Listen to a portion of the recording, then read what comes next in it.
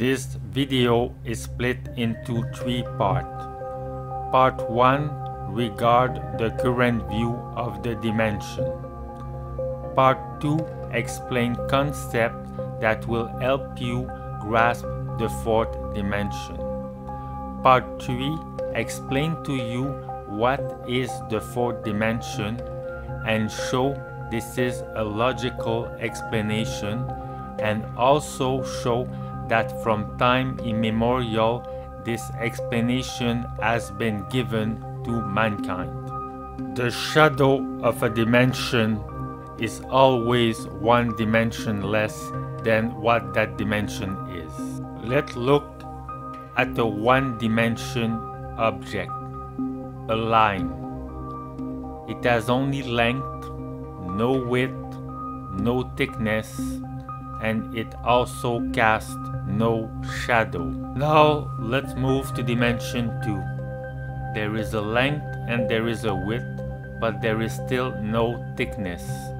The shadow of a two-dimensional object is a line, a one-dimensional object. Now let's move to dimension 3. There is a length, a width, and a thickness.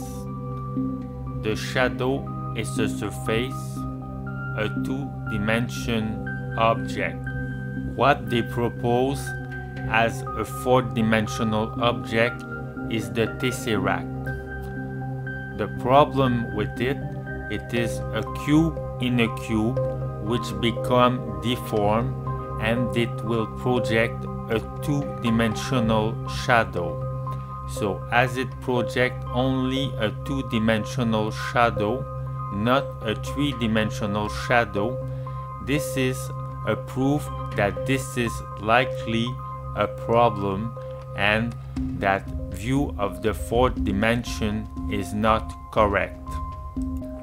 As you can see, they are trying to explain a four dimension object with three dimension object, which make no sense.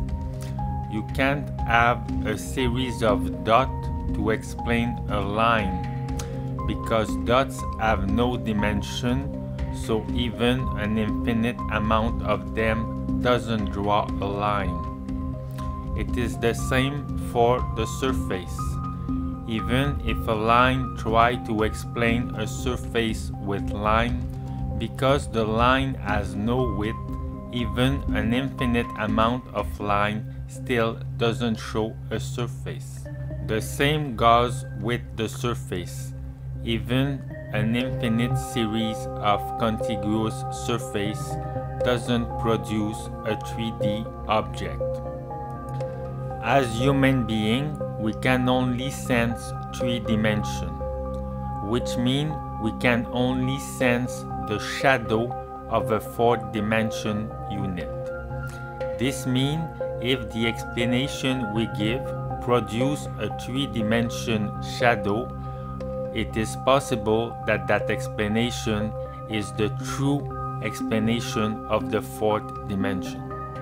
For the concepts, please move to part number 2.